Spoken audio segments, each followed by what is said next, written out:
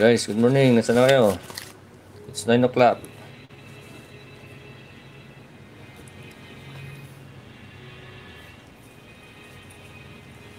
You open mo ate?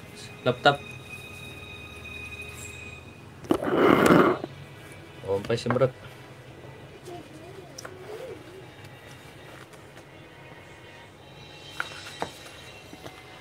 Yun, the mesa. Nag-open ka? Nag-open ka? Good morning, Ninyo. Ninyo Santiago, good morning. Wow, si ano, uh, Monhe. Good morning. Maaga na naman ah. Kay ano, Rosemary Monhe. Kay Chet uh, Lorenzo, good morning. Eduardo Gorospe. Si Gias Senal. Janine Pearl Pagatpatan, good morning. Okay, si Jasil Gumpad, uh, good morning. Okay, so while you are uh, having your uh, watching, pwede kayong magkape muna, diba? Then we'll just wait for the other.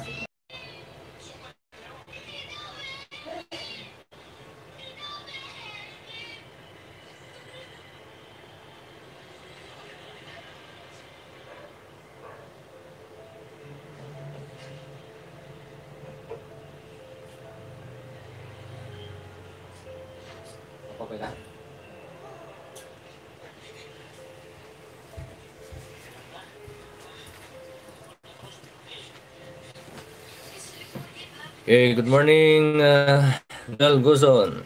Yan. Si Shinet Espanya. Jessa Valera. Okay, so meron na tayong 12 na tao nakapasok. Okay, so we'll just wait for the other people to come in. Then mamaya we'll uh, immediately start. Medyo na late lang kasi galing tayo ng church. Okay. Puti-puti.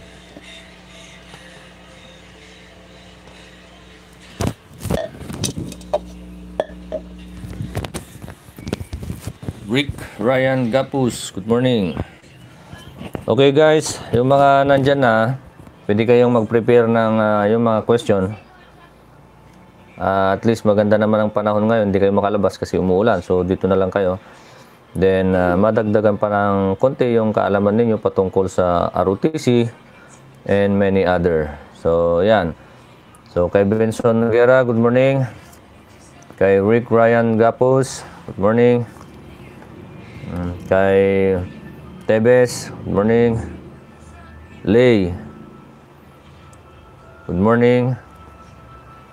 Kay, uh, ano to? Kay Core Commander, good morning. You please uh, watch also Core Commander.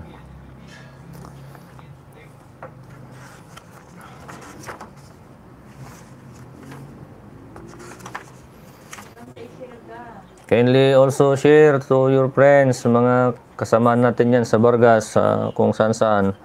I-share nyo na rin mga kapatid para at least makapanood din yung uh, iba.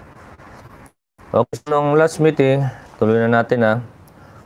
You can prepare your questions. Lester Jose, good morning. Renel Jan Rosales, good morning. Kindly share sa mga friends ninyo or to other. Okay, so ngayong umaga, pag-uusapan natin ngayon yung tinatawag na major fault, yung kamalian ng pagsaludo. We are not done with this because nung last meeting ay marami tayong questions but hopefully I answered your questions uh, um, rightly or at least uh, nakasagot po tayo dyan. So now I I beg you mga tagapanood na mag-prepare kayo ng question or tig di dalawa ganon or tig tatlo kung gusto nyo pero your questions must be at least in line in our topic or maski hindi at uh, tatano, uh, sasagutin ko yan in my utmost in my utmost cap- capacity Okay, good morning, uh, Sherlyn Biscaro. Good morning, Idol Maestro. Sabi ni Char ni Mr. Chrysler Albayalde, yung former governor natin ng Crimin okay, sa Cagayan State University. Uh, good morning mga estudyante natin dyan sa Mayla Rosario College and sa um, Vargas College. Okay. And so now, let's one you, one of the major faults of saluting is yung bowing the head as the salute is given. This we are referring to the person whom you salute. Pag ikaw ay nagsaludo at yung sinaluduhan mo ay nagbabaw lang ng, ganyan, that is respectful to the one who is saluting you. Hindi ibig sabihin na nagsasaludo siya ay or sinasaluduhan ka ay mas mataas ka sa kanya at uh, you disrespect him. Kasi ang ating tradition in uh, military courtesy, if you salute a person, the person whom you saluted, suppose, will answer you with a salute. Okay? With is with a salute, not a. Ah, hindi bow. But of course, there are instances na ano, there are instances like for some sinaluduhan mo yung higher officer mo, but uh, meron siyang dalawang ano, merong yung dalawang kamay na may kamay niya may hinawakan, uh, syempre magbabaw yan or pwede niyang ibaba yung isa then sa saludo. But in an emergencies, uh, minsan hindi na sasaluduhan yung nagsasaludo or in in yung tinatawag natin the person whom you salute ay not in attention or may emergency, ay, hindi ka nakasalute. So, sometimes, um, may mga instances na hindi ka nasasaluduhan. Pero, for example, the person whom you salute is uh, aware that you are saluting him, tapos sumagot siya ng just uh, nodding like that, la, nod, hmm, or bowing, ay hindi pwede yun. Okay? So, that is uh, fault or a major fault in saluting. Okay, I repeat mga viewers, you prepare your questions uh, patungkol sa ROTC, sa police, yan, so and saluting and other. Okay, number two, dropping the hand, salute before it has been returned. Okay? Ito, uh, hindi ka pa hindi ka pa ano, hindi ka pa na re-responsan, binaba mo na. You wait for the response of the person whom you saluted before you drop your hand. So that is also a violation or a fault. Nag-drop ka na ng kamay mo, eh, hindi ka pa hindi ka pa nabibigyan ng response. You need to wait for the response. Sir, what if kung hindi siya nag-response? Hmm, tatlong oras na akong nagsasaludo, eh, hindi pa nagre-response. Of course, meron tayong tinatawag na pan na pag-iisip regarding that. Logic yan.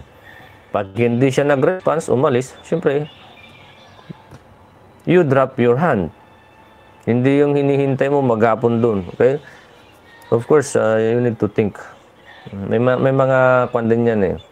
Tinatawag nating uh, uh, gamit ng ating sentido kumon or ang ating utak. Okay, so yan. Good morning to Mr. Tango and kay John Jerry Cock. Good morning. Another one na hindi pwede or mali sa saluting ay yung holding the hand awkwardly high or letting it sag tulo. Yung pagsaludo mo ay napakataas or napakababa din. Okay ba si Mama Neta? Tagtagar. Okay, so I repeat, may maingay lang sa, sa kabila kasi, kaya adjust ano. If you salute, my friend, do not salute very high. Not salute very low. So it must be always on the standard one or on the tip dito. Hmm. Or di. Yan. So it's the normal one. Pero if you salute uh, exceedingly sa taas o sa baba, hindi pwede. Mali pa rin yun. Okay. There is no perfect salute, but we do yung tawag nating at the middle. Okay? Kasi hindi naman tayo perfect and even yung saluting natin, that's not perfect. But at least we do the proper. Okay?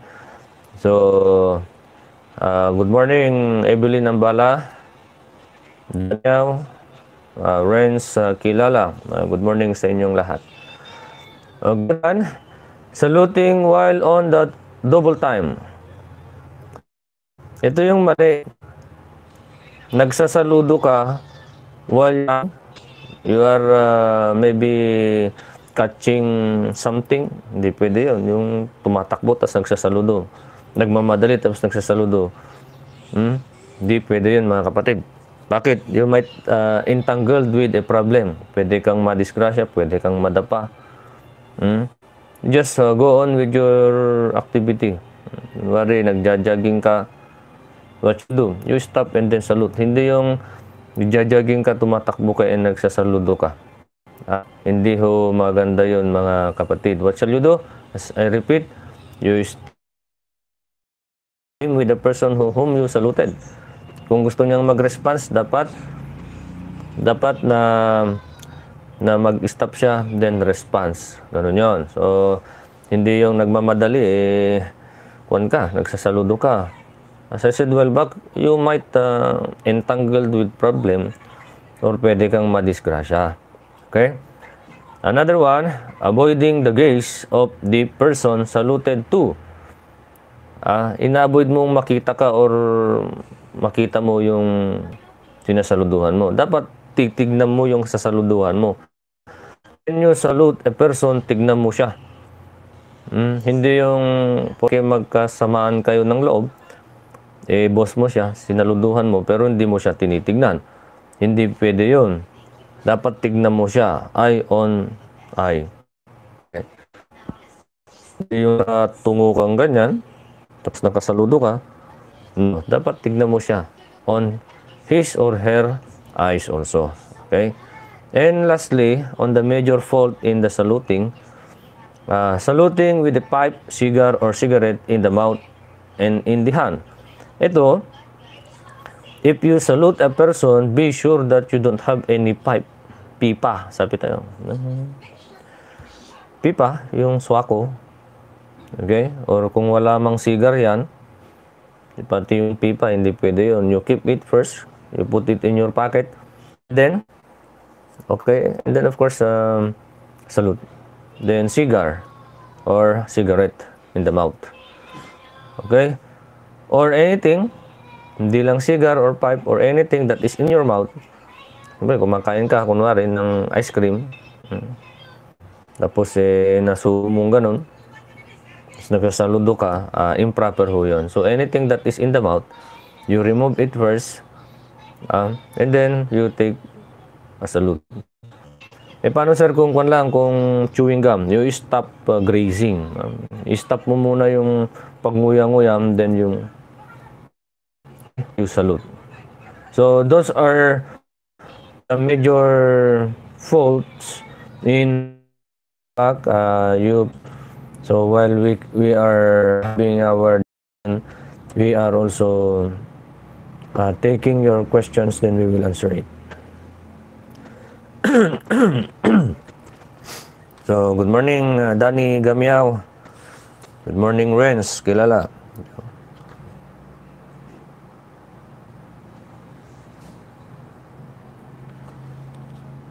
Okay, so wala pang uh, pumapasok na question. So, let's uh, continue our discussion. Honors to colors and anthem.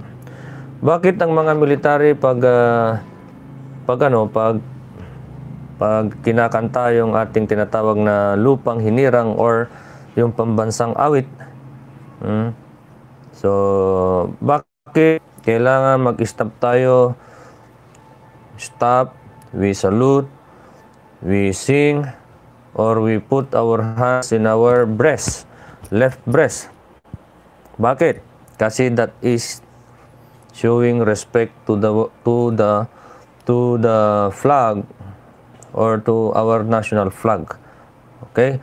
So yun ang ibig sabihin nun, showing respect or paying respect to it. Actually, pag hindi ka ano, pag hindi ka nag-show respect with it, pwede kang i-condemn. Merong kasalanan pa yan. Hmm? So may question dito si Lisette Lorenzo. Sabi niya, Sir, ano po ba yung punishment ng hindi nagsasalute? Ayan. So, maganda naman yung question ni Lisette Lorenzo. May punishment ho ba? Hmm. Una, sagot ko sa'yo, wala siyang punishment. Ha? Ah, that is, una, sa batas, ha? wala kasi. Pero, at may pero yon. It will not be considered as di ko na tayo criminal case. But it is a violation of the custom and tradition of the military. Now, if you talk about the punishment, uh, that could be reprimand, that could be natin you will be condemned with the military because it is pwede, gusto mo bang ano mabulya-bulyawan diyan gusto mo bang mapanis diyan Okay, pwede mo pwede kang mag exercise and the worst there is they will not respect you too. Ah? Or pwedeng pwede pa itapong ka somewhere in malayong malayong lugar na malayo sa pamilya mo. So that could be the punishment, uh, Lisette Lorenzo.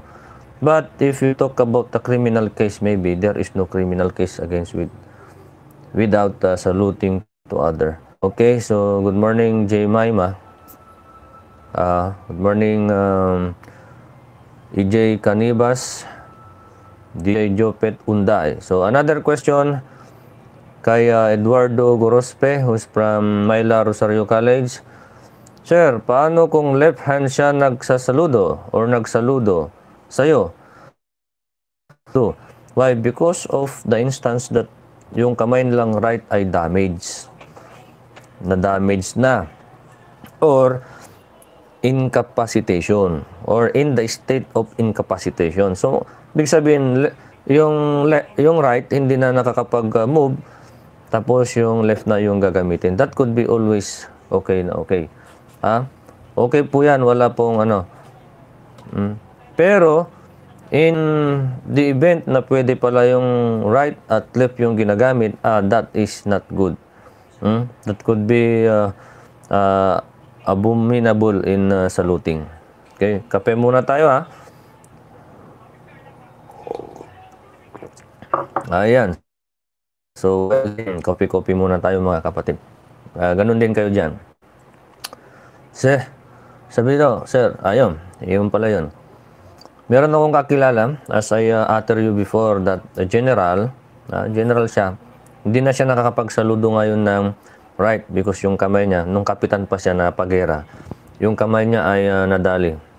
Pero he was given yung yung award, yung gallantry award. Hmm? Yan. Kay Jeric Jerica Drain Franco, good morning.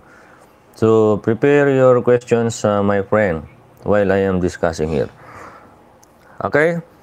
Sabi ko kanina, why we need to why we need to um, honor or give pay respect to the flag of our country because that's our identity. Hmm? Honors to the colors and anthem. Whenever the national anthem is played and you are not on formation and not in a vehicle, come to attention and at the first note, face the flag, render the prescribed salute. Yan. If you are a military man, you are required to salute the flag. You are required to salute the flag. If you are a civilian, civilian, you are required to put your hand on your left breast. Sinong nanonood sa inyo ng ano ng sine? Sa sinehan? Sino pumupunta sa sinehan? 'Di ba? Sa opening at saka last ng sa opening sa kalas, ng show, merong national anthem sa loob mismo ng sinehan. Yung mga hindi sumusunod doon, pwedeng palabasin. Hmm? Pwede.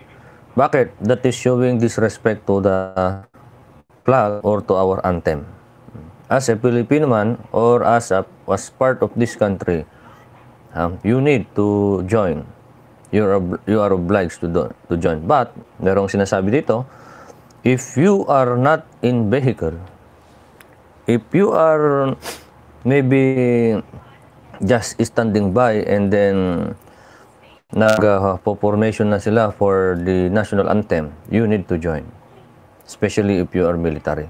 Dito nga sa ano sa may highway, pag yung National Police, saka yung BFP, tapos yung sa DNR, pagka mag uh, ano mag uh, flag racing sila, close yung National Highway.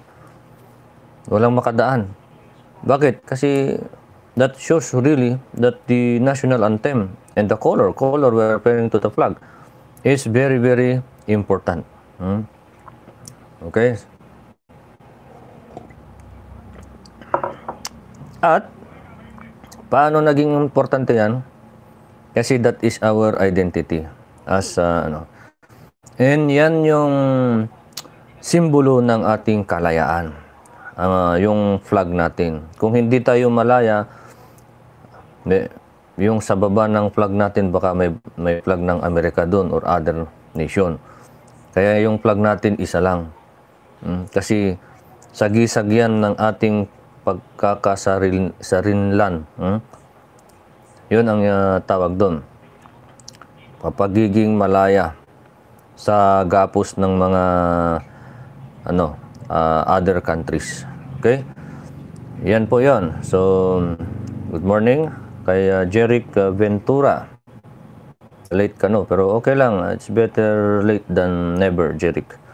Ah, ingat ka diyan kung saan ka man. Okay.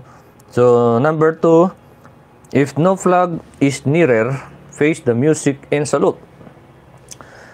Uh, there are instances na nagkakaroon tayo ng flag ceremony, flag retreat, pero walang flag. Nakalimutan siguro, or nawala, or nasunog, or nangyari doon. So, pag may, pag may music, you just face where is the music. Kung saan nanggagaling yung music, doon ka sa saludo. Okay? Ganun yon. Okay, so meron pang isang sample dyan. Like for example, malayo ka, bigla mong narinig yung music ng lupang hinirang. Ah, tapos, kung saan nanggagaling yung music, doon ka, doon ka mag-face and then salute if you are a military man. Pero pag civilian, hmm, eh, talagang pag naituro sa iyo yung tinatawag nating nationalism, eh, talagang tatayo ka at kakanta. Mm, pero bihibihira yung ganong civilian. Yung they uh, really give importance with the national anthem. Ah, actually, tinuro yan sa atin nung nasa elementary pa lang tayo. High school, college, nituro yan. Pero yung sa college, bihibira yung nag, na national anthem. Ah, sa amin noon, sa Marin University of Baguio, wala kaming ano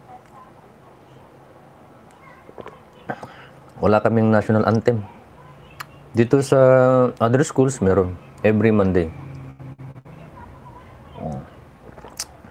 Yan siya na kayo. Um, I just want to refresh myself uh, with uh, the coffee. Nalamig ngayon, umuulan.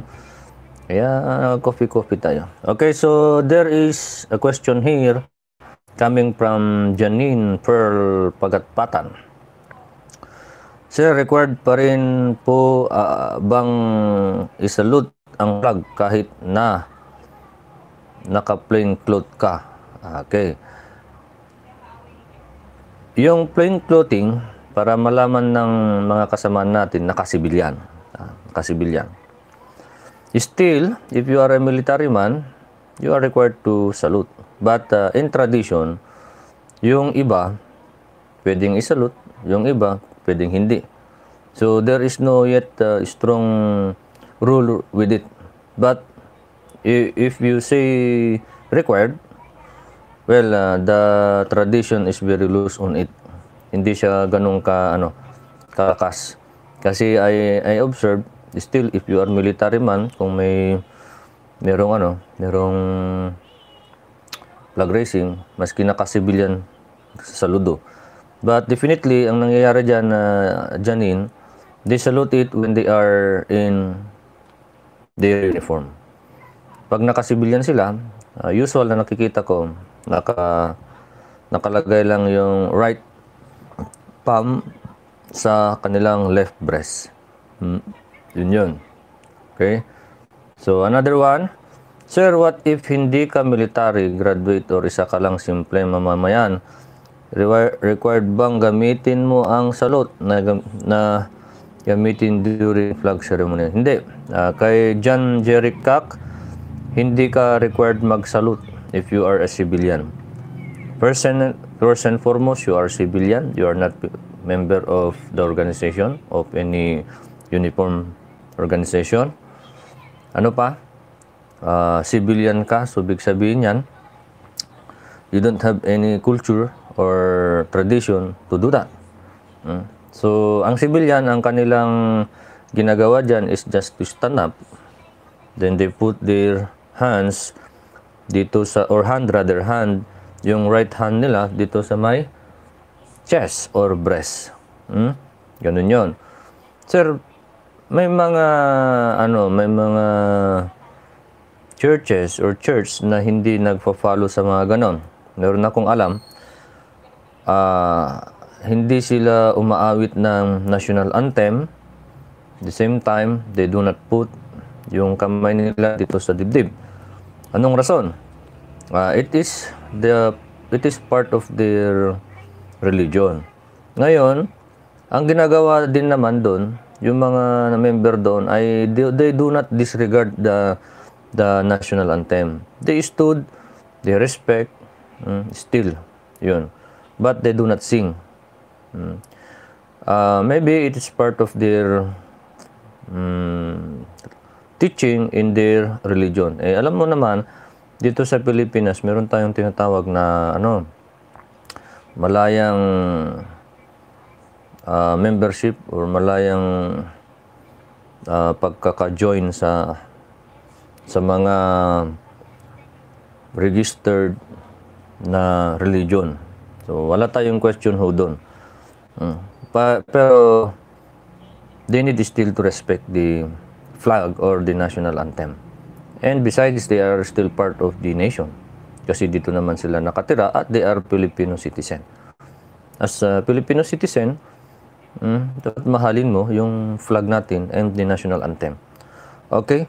So, number three, vehicles in motion are brought to, to halt. Troop formations riding in vehicles do not disembark. Dito, pagka mga sasakyan, napapansin nyo, dito, maybe napansin nyo somewhere in your areas kung kung merong kung merong flag ceremony at merong ano, merong bumabaybay na sasakyan or sakyan na on travel, ang ginagawa dyan is they need to stop. Mm. Papa-stop yan. Sir, paano kung di umistop? Ah, meron tayong batas na kailangan nating sundin. That is uh, disrespectful to the um, national anthem. I will uh, later on give you the law. Pero hindi ganun ka kuan kasi ka katigas yung ngipin ng batas yan. Kaya minsan yung iba, di, dinidrespect pa rin. Hmm? Pero ngayon, kunti man yung batas na yon o mahina man yung batas, at least may batas, nagsasabi na you need to respect hmm, yung color natin and the national anthem. Color, we are referring to the flag. Okay, next. If outdoors and uncovered, attend at attention and face the flag, indoor officers and listed men will stand at attention. Ito, ah, nasa labas ka, nasa loob, anong gawin? So, you still, you stand up, stand uh, then salute, or you put your hand in your breast. Okay, that's the style. And always face the flag. Eh, tingnan nyo pag uh, flag ceremony, lahat ng mata natin sa flag natin. That is uh, giving respect to the flag. Mm? Sir, bakit natin nire-respeto ang flag? Eh, kwan yan. Eh, flag lang naman, hindi naman siya tao, hindi naman siya... Because that is our identity. Hmm. That is identity of the Philippine uh, government, the people, okay? Yun yun. Eh, gawa naman ng tao yan, sir. Bakit natin tatayuan? Eh, kwan yan eh. That is a symbol of our independence. Hmm. So, at yan, simbolo na yan ay ipinaglaban. Hindi lang isa ang lumaban dyan. Uh, almost yung mga bayani natin, sila yung nagbuwis ng buhay para lang magkaroon tayo ng, ng sarili nating kasarilan. Hmm? Yung tinatawag nating ano, independence. E tapos hindi mo re-respetuhin. Kaya nga meron tayong batas patungkol dyan. At uh, in every municipality, meron ho yan. Pinapatayo And every municipality merong area where they raise the flag. Ba? So merong question dito. Sir, paano kung di mo na sadya na napunit yung flag? Sir, anong mangyayari sa iyo? That's according to Nino Santiago na nakatira diyan sa sa Pamplona. So accidentally nasira mo yung flag um, napunit. No? Malakas siguro si ninyo. Sabagay, laki-laki naman ni ninyo talaga. But uh, on the question, uh, wala kang kasalanan. Nang una, hindi mo naman nasadya. Pero merong hin- hindi sinadya na magiging kasalanan. Like for example, killing of person. Hindi mo sinadya, pero still you are liable. Dito sa ano, dito sa flag, pag hindi nasadya, uh, there is no yet cases like that. Pero dapat ibalik mo or palitan mo. Balik mo sa dating style, tapos uh, palitan mo. Pero kung ano, sinasadya mong sunugin yan, ah, sunugin, sirain, nako, kasalanan yan. And, inciting war pag ganun. Ah, nakita nyo na yung mga nagrarally minsan, sinusunog nila yung mga flag. May kasalanan yun. Inciting war yun. Disrespect country and to our country. Pero pag hindi mo naman nasadya na punit, ha, tapos kauntang, well, uh, hindi naman kabigatan ang kasalanan doon. What shall you do is, you, you fix it, you make it again very good. Okay? Uh, yun lang, uh, Mr. Nino, Santiago. Ah. Mag-exercise ka ninyo. Yung taekwondo natin, huwag mong kalimutan. Okay, again, kay Lisette Lorenzo. Ay, snappy si, si Lisette. Very good. Ang dami niyang ano, question. Yan. I ask you people to prepare your questions. Hmm, tayo matatapos dito kung hindi kayo mag-ask. Kasi hindi lahat na nandito ay uh, masasabi ko sa inyo or hindi lahat kasi ay pwede nating itakol. Kaya I ask you really to ask your question. Okay? Sir, ano po yung kaso at punishment ng pagkanta sa Philippine National Anthem? ng mali-maling lyrics, sir, mapa-civilian man o military. Uh, merong kasalanan niya, uh, merong kasalanan. I, I am not yet uh, sure with those penalties or punishment with it. Pero meron talaga. Yung hindi lang mali, hindi lang mali-mali, yung tono pa, ginagawang rap. Hmm?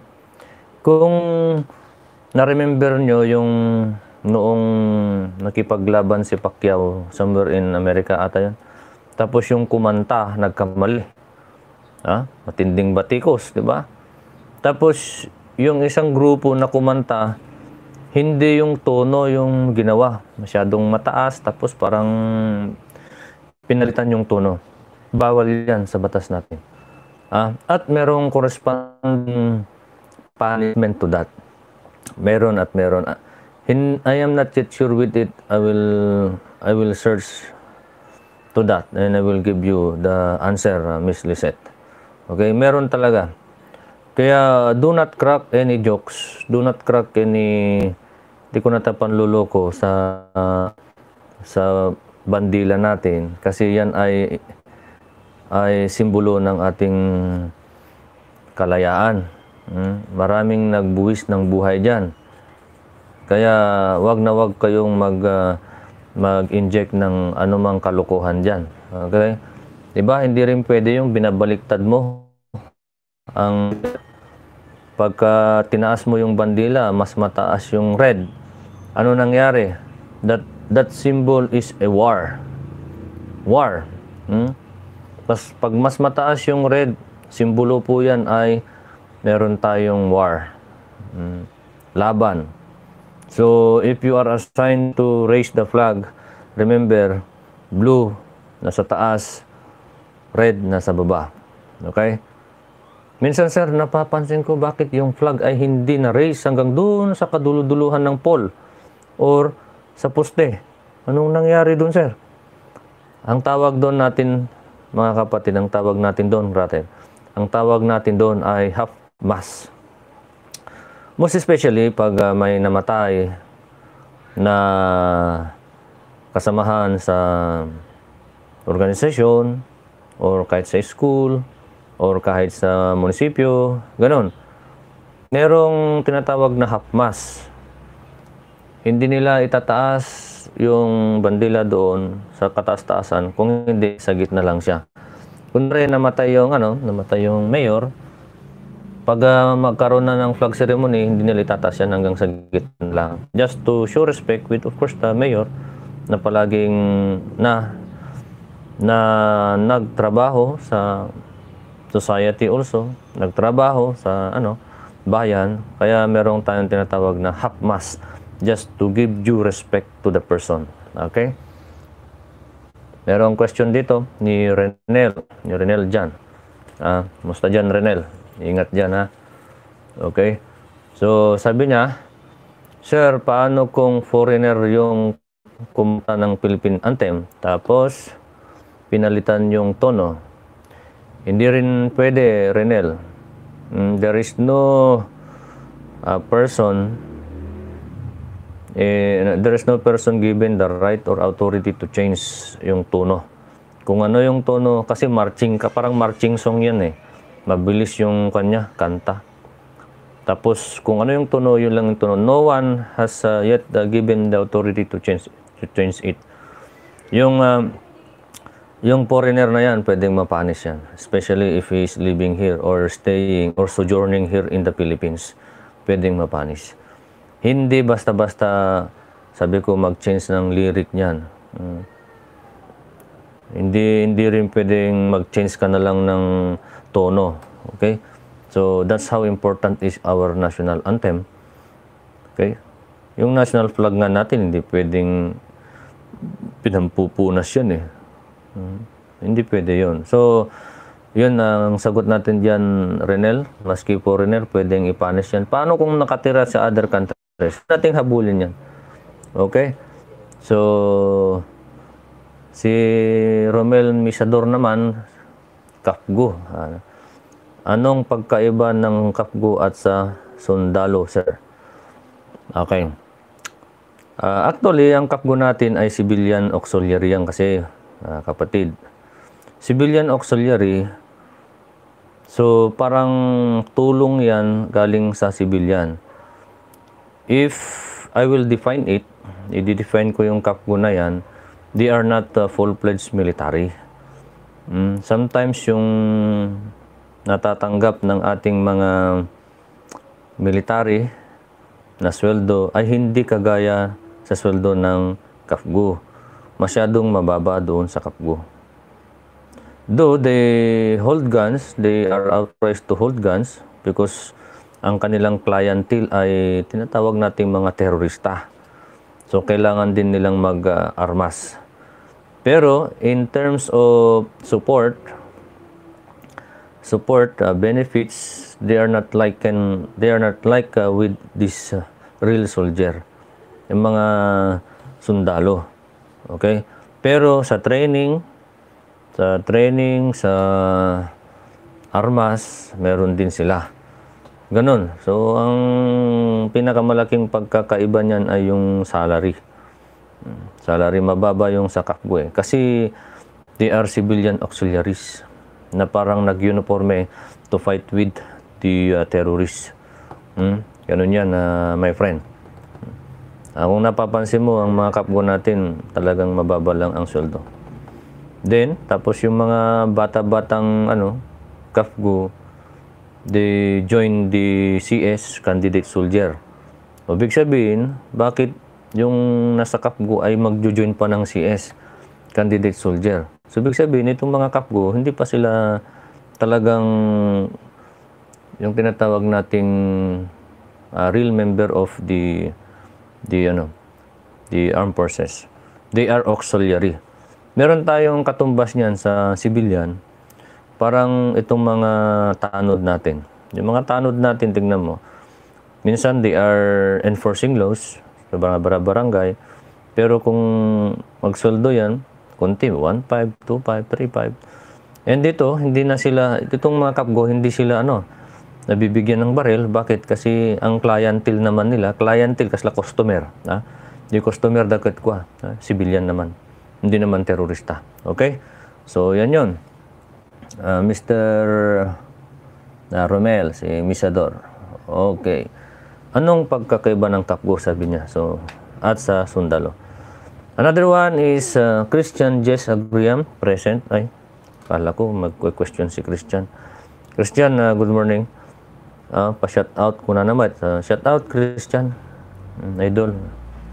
Ingat ka dyan. So, wala pa tayong question. So, we'll just wait. Hmm? Uh, shout out dyan kay Leia. Hmm.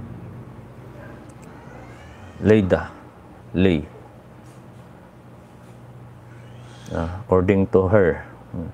Next, um, the passing of be the passing by uncased scholar which is being paraded, presented, or in its own formal display as a salute at six spaces before and until it has passed you. If yung, yung flag natin ay being passed on your area, yung kung saan ka nakatayo, especially you are military, saludo ka. Hmm. Kung nakapanood na kayo ng pass and review, yung bandila talagang winawagayway yan, tapos nilalakad yan, tapos sa harapan mo pa, sasaludo ka doon. Okay? You need to salute. Okay. Bakit? Kasi the flag, as I said well back, that is a symbol of our of our independence. Okay, good morning, Carl uh, Dulit. Then si Hentai Lover. Ano pangalan ni Hentai Lover? Uh, good morning, pare. You prepare your questions. And another one, dito sa honor to colors and anthem. In uncovered stand attention when passing by uncased color. Dito, pagka yung bandila ay sa sidwell bag, being passed in you, at uh, you are not uh, ready to salute, just stand. Uh, just stand at attention. And then stop for a while. Then you let it pass. Okay? Another one the marks of respect above are also rendered to the national anthem of any friendly country when played upon official occasion. Now ito if we respect the national anthem of the Philippines because it is our national anthem we as people, you should, we should respect also the national anthem of other, especially if, if, if it is being played. Hmm? Especially when during large occasion or very important occasion or program. Diba may mga event na minsan kinakanta yung national anthem ng other countries. Sa Pilipinas ka, kinakanta yung yung anthem or national anthem ng other countries. Oh, anong instances yun, sir? Sa during Olympics, laro, diba? boxing, and many other. Kinakanta yun. So, if you if you give due respect to the national anthem of the Philippines, you give also due respect to other. Kasi, pagka niyurak-yurakan mo naman yung national anthem nila sa kabandilan nila, that is inciting war. Lalo na kung susunugin mo pa, 'di ba? Hindi pwede 'yun, mga kapatid. So, okay. Merong question dito. Saka yung kasabihan na respect begets respect. Sir, paano ko, paano po kung di ka nagsalot sa mas mataas sa iyo, sir, pag nakasalubong mo? Eh, pag nakasalubong po kayo, ano po mangyayari sa iyo? Um, I answered that kanina, pero for the sake of everybody, pag hindi ka nagsaludo sa mas mataas sa iyo, that is kasalanan sa kanila. And that is uh, disregarding the customs and traditions of the military, especially yung military courtesy. Napakalaking kasalanan yan, but that is not a criminal case. Hindi po yan criminal case. Pero that is a violation of the norm or standard of the military. Hmm? Pwede kang ipanish yan o exercise. Patakbuhin ka sa ground for 20 rounds. At hindi lang yun. Of course, the whole military will condemn you. Hmm? Ah, anya ko na tayo nga condemn. Eh, anda nga kapanpansinan dita, kagura da kadta, di ba? Kasi you are violating the norm or standard of the military. And the worst, ah, baka yan pa ang dahilan na di ka ma-promote-promote. Dahil mayabang ka, while, kasi sasabihin sa'yo, mayabang ka, bakit di ka nagsasaludo sa opisyal? Ba? Who are you? Kasi meron tayong military tradition. At the same time, worse pa dyan ha, ninyo, baka itapon ka pa sa napakalayong magulong lugar. Hmm? Malayo sa iyong pamilya. Oh, gusto mo ba yan? Because of because of non-saluting. Yan. Yung mga instances na dapat isipin natin mga kapatid na kailangan magsaludo talaga. Okay? So, uh, yan po. As I said while back, we need to respect also the the national anthem of other countries. Bakit, sir? As they respect us, so we need to respect them also. Oh, ano pa? Ano pang may question pa ba kayo dyan? Hmm, do, do you have still uh, question? Bago natin i-discuss yung army So marami pang hindi nagko-question diyan ha. Uh, you need to prepare. As I said well back, I will write those people who will ask me a question. Uh, sila Lorenzo, si Santiago, sila... Marami naman nagko-question pero hindi lahat-lahat. Siguro yung iba, wala na. Hmm? Si Governor Bayalde ng Sesio, yan, si Cardo Lit nag, ano, question. May pata, patalantadan, ano, pala, palatandaan po ba, sir, kung sundalo yung nakakasalo natin kahit di nakasuot ng uniform? Okay, if you are a keen observer, observer or you are good in observing persons, you, might, ano, you might observe it. Aside from the uniform, merong mga way kung paano nagsasalita at paano nag-act itong mga sundalo. Uh, minsan nakikita natin yan sa mga kasuotan nila. Yung sandalo, minsan meron silang dugtag, yung kwentas na nakalagay doon. Pero hindi lang hindi lahat ng nakasuot ng ganyan sundalo eh. Ngayon, uh, if there is no way aside no way aside from the uniform and the dog tag pwede mong makita at mapansin ito through their actuations pwede yung pananalita siyempre yung pananalita is uh, yung lumalabas sa kanya is militaristic or about uh, weapon or about uh, laban or about really sa military kasi yun ang trabaho niya eh Parang doktor, kung doktor yung tao ay ang lumalabas sa kanyang bibig ay medical. Mga gamot, mga sakit, mga terms ng medical. Ngayon, kung ito'y attorney naman, eh ang lumalabas sa bibig ng attorney about sa batas, kaso, anong nangyari, investigation, ganon, di ba? O ngayon, pag uh, army naman ang kausap mo at ito'y naka-civilian and you don't have anything na pwede mong sabihin military siya, but you can now observe, you know, you can now tell it na, oh, military to because of yung on how he utter uh, the words and yung ginagamit niyang words or statements. Yan. Ganun, uh, my friend, aside from the uniform. And sa military, ang galaw niyan eh, very snappy. Snappy, precise. Ah, yun yun ang ating pwedeng palatandaan. Hmm. Kasi kung walang uniform, di mo na alam. Yung sa gupit, yan. Okay? So, yan, yan ang um, pwede nating isagot dyan, Carl uh, Dulit. Another one kay Jeric Ventura, yun, mga taga-konto, taga-Maila. Oh, natatalo yung tag CSU ah. Si Carl Dulit sa si Jeric, eh, taga-konto, taga-Maila Rosario College.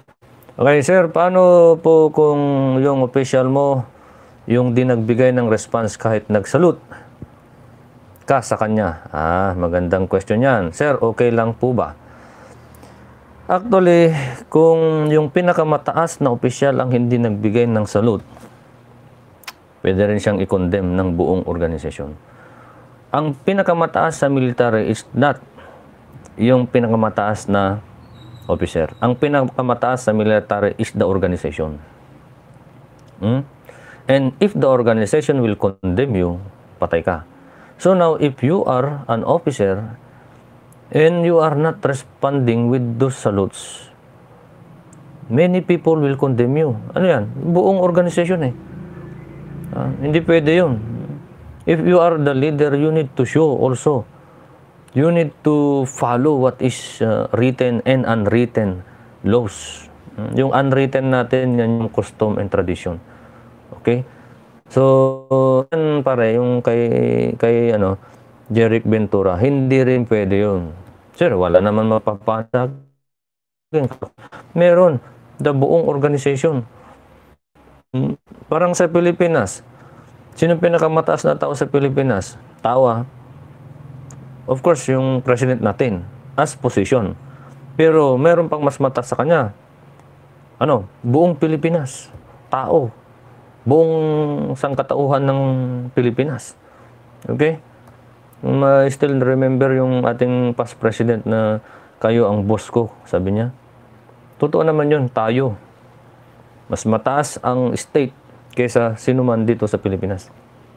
Hmm? Next. Ah, so that's uh, my answer, uh, Jeric Ventura and to Carl Dulit. Thank you very much sa inyo. Kay Lorelyn Fabre. Ay, uh, Lorelyn. Parang nalit si Lorelyn ah. Kay Rosemary Monhe na palaging maaga. Ang ROTC po ba ay part ng military service? Uh, let's discuss what is ROTC, Reserve Officer Training Corps. Meron tayong batas dyan. Nandyan yung tinatawag nating RA 7077 and the RA 9163. Pero pag uh, tinatanong But this is uh, this is one way for you to learn regarding military. Pero kung yung military service, kung sinasabi mong pag nag-ROTC ka, kasali na ba doon yung service natin sa militar? Hindi pa. Hmm, hindi pa. Pero there are uh, officers na ang kanilang assignment is in ROTC too. So that is part of yung kan, part of ROTC, eh, part of service. Pero if you are an uh, if you are student, estudyante ka pa lang, nag-aaral ng ROTC, hindi pa yan parte ng iyong service. Kasi you are not yet a part of military. Eh. Estudyante ka pa lang. Yan. Pero ang ROTC kasi, this one way one way na maturuan kayo regarding militaristics, regarding uh, the love of the country, and many other. Okay, yan yon. Pero it's not yet part of the service. Pag sinabi mo kasing service, uh, yung nagwo-work ka na eh. Hindi pa. Pero there are military man na ang kanilang trabaho, they are assigned with ROTC. Sila yung nasa tinatawag nating reserve force. Uh, naghahawak ng reserve force, I should say. Okay? So, yes lang, hindi pa parte ng ating service yun. Okay, next. Uh, good morning, si Jeric Ventura. Thank you po, sir. Uh, salamat din, Jeric. Kay John Jeric uh, Kak. Sir, ano po ba ang kahalagaan ng ROTC sa military management? Ang ROTC kasi, mga kapatid, yan yung una or preliminary na nagtuturo sa mga estudyante natin, especially sa college and high school. Noon, high school, yung pa natin, CAT. Sa college, mm, nagtuturo sa kanila ang sa kanila yung tinatawag nating military discipline, military traditions and custom, military way of ano uh, bearing and so on and so forth. Malaki yung importance nito. Bakit? Kasi pag uh, yung ROTC nabigay mo na yung basic education sa sa mga estudyante, pagpunta na nila at magiging military na yan, they are now knowledgeable with it. So hindi na mahihirapan itong itong real military organization na mang-manage sa mga tao. At the same time, kung ikaw ay ROTC student, uh, alam mo, even in your private life now, you can manage. Okay? So, yun ang importansya niyan. Actually, marami akong nakausap na mas maganda pa rin yung ROTC because graduate dyan a little bit more disciplined than those who are not graduate of ROTC. Totoo yan. Na, na, kaya nga, merong batas ngayon, ay merong movement sa Senate na sinusulong uli yung pagbalik ng, ng tinatawag nating uh, mandatory ROTC. Ah, mandatory ROTC. Eh, good morning, uh, Danggan, Reginald. Kaya, uh, sa'yo, Rosemary Monhe, ang ano ang importance is at least you, you will be given the basic military training then later on hindi na mahirapan yung pag-manage ng tao okay kasi learned na yung mga estudyante natin yan ang kagandaan ng ROTC at the same time you can use it even your private life now okay Maski ngayon pwede mong magamit kapatid hmm? uh, Miss uh, Monhe ano pa oh Meron pa ba tayong question dyan? Bakit ang ROTC ay pinaka-importante sa atin? pinaka-importante sa atin, sir. Ano baka yung ibig sabihin ni Eduardo ay bakit ang ROTC ay importante? Yan, siguro yun yun. Important yan, uh, Edward.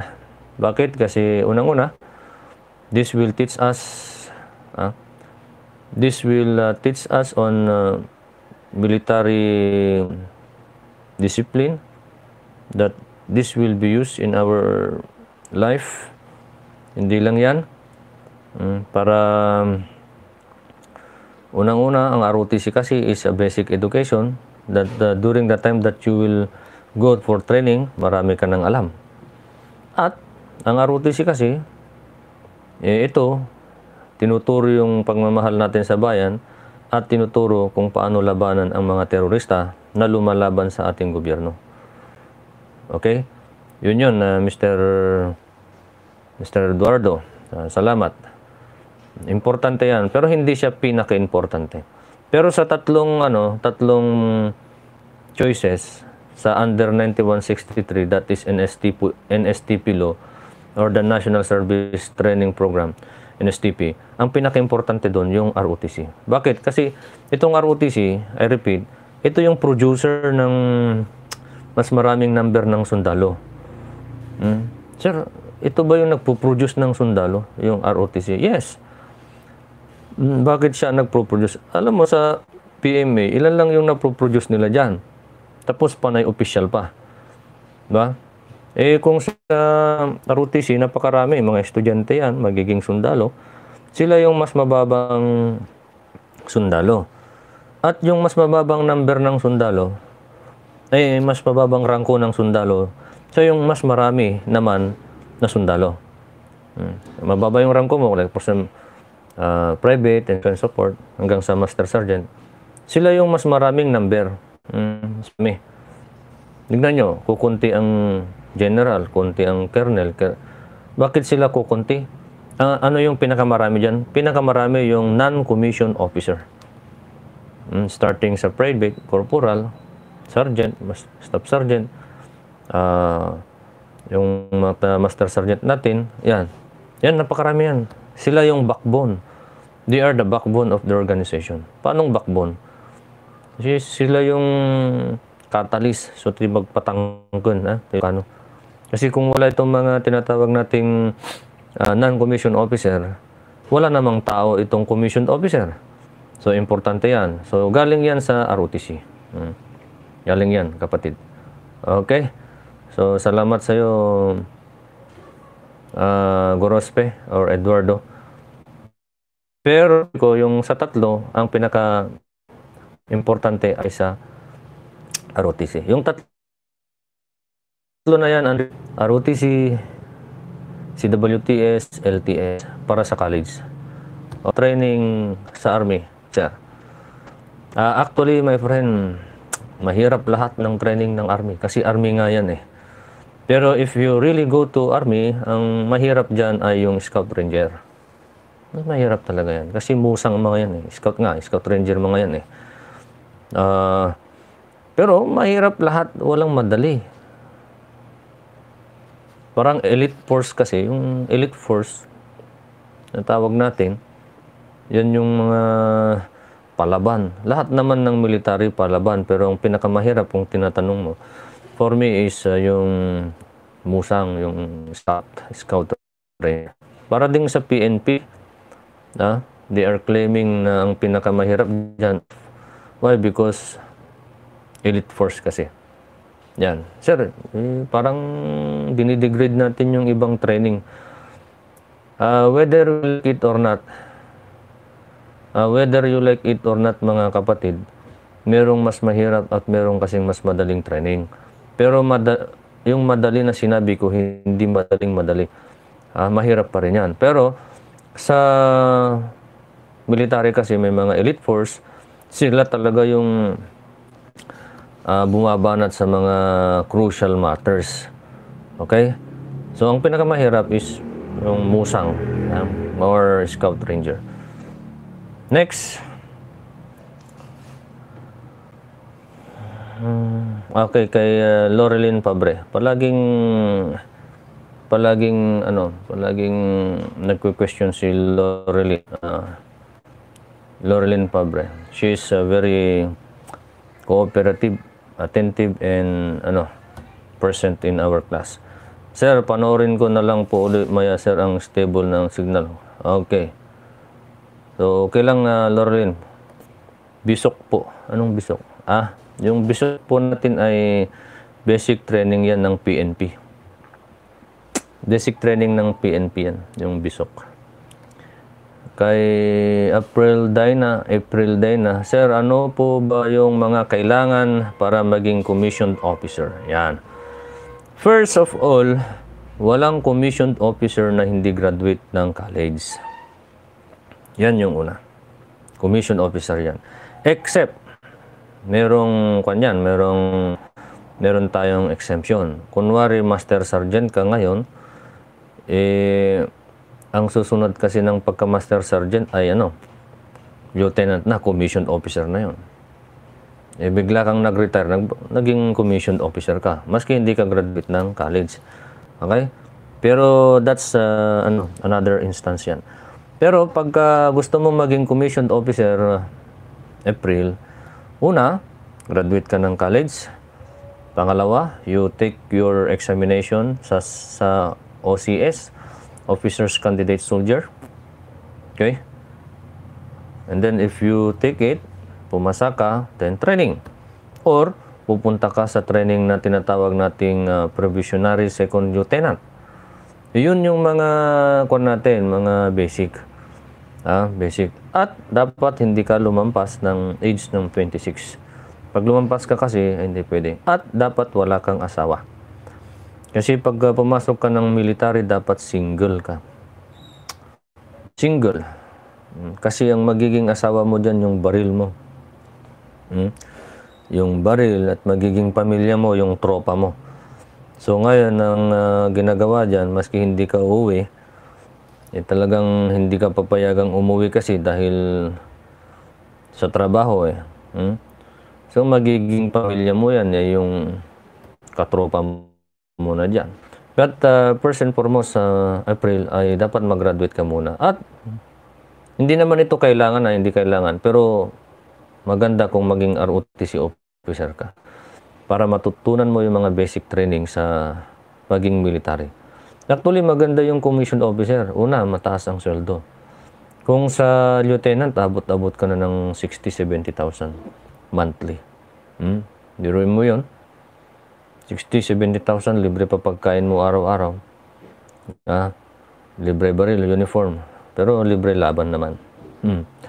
Okay, so that's uh, my answer, April Dina Alegado. Sir, what if hindi ka nakapasa sa board exam? Makakapagpulis ka pa rin po ba? Uh, I think nasagot ko yan noon. Pumasa ka sa board exam o hindi, pwede kang makapagpulis. Bakit? Because of the NAPOLCOM. Ano NAPOLCOM? National Police Commission. Hmm? Kung naipasa mo lang yung National Police Commission examination, that is, and later on, kung, kung police ka na, that's the time that you will take the examination. Ah? So, sabi ko sa inyo, basta mag-graduate ka lang ng college. Then kung hindi ka pumasa, eh hindi. May examination pa naman eh, di ba? So, huwag kayong, huwag kayong mag-alala. Basta pag napulkom pumasa ka, pwede. Sir, gusto ko sa B- BFP. Oo, mag-exam ka rin ng na Bureau of Fire Examination. Mer meron yan. Meron. Sa BJMP, meron yan. Sa lahat naman kasi ng papasukan mo ngayon, meron exam. Sa military meron eh. Sa Coast Guard, meron exam. Madali na lang yan. So, mag-alala. Hmm. Okay? Kay Misador, ano po ba ang pinakamataas na ranggo sa Philippine National Police? Yan yung tinatawag nating 4-star. Of course, general. Police General. Brig Gen. Major Gen. Lieutenant Gen, and General. Ang tawag sa kanila ngayon ay Police General. Kasi noon, uh, private kwan, ano, uh, civilian rank noon, director ang tawag sa kanila. Pero ngayon na bago na, so sa kanila ay Police General na. Okay, Brig Brig Gen, Brigadier General, Major Gen, Lieutenant General, General. Hmm. Yun yung pinakamataas. Okay, so uh, that's the question of Misador. Kay Rosemary Monhe uli. Hmm? Uh, si Rosemary Monhe ang sa malapit at uh, napaka-tiyaga na manood sa atin. Uh, Sir, yun pong nag-viral na Koreano na nag-vlog tapos binidyo yung flag natin sa dinuraan. Dinuraan. Ayun, away ata sa pagkain yan eh. Tinapakan at pinunit. Ano po yung punishment na pwedeng may hatol sa kanya? Ayan, um, pwede ning if that was done in other countries or in his own country kasi we don't have jurisdiction over the case ang pwede nating ipataw sa kanya is kung meron siyang balak pumunta sa Pilipinas, pwede natin ito siyang iban, na iban. Okay? Pero ang criminal case kasi, since then it was happened really in that area, uh, the jurisdiction over the case wala tayo. Mm? And uh, we don't have also jurisdiction over the person. So ngayon, ang mangyari dyan, uh, Rosemary, ang pwede nating gawin sa kanya is to ban him or her, kung, lala, kung babae man yon ah, na hindi makapunta rito. At uh, maybe yung mga account niya pwede nating i-block, mga ganun. So, yun yung mga possible na gawin ng Pilipinas naman. Hmm? Uh, siguro, hindi ko pa napapanood yan, Rosemary, pero parang nabalitaan ko yung kanyan, tungkol sa pagkain ba yan? Okay? Yan. Next kay uh, Raven, ah, Raven. Musta dyan, Raven? Musta yung nanay at uh, tatay mo? Ah, si Sir, pare-pareho po ba ang training ng babae at lalaki sa military? That's a very good uh, question, Miss uh, Raven. Pare-pareho po ang training. There is no woman or man in the training. Hmm? Bakit? Kasi you are in military. Eh, eh kung papatayin doon, hindi naman yung lalaki lang papatayin doon eh, sa, sa laban.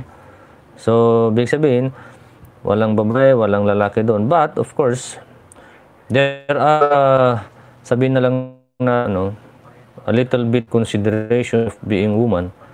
Kasi mas mahina talaga ang woman kumpara sa, sa lalaki. Hmm?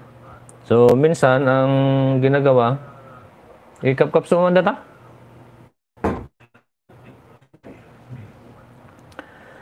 Okay, so, dito sa babae, minsan merong consideration din.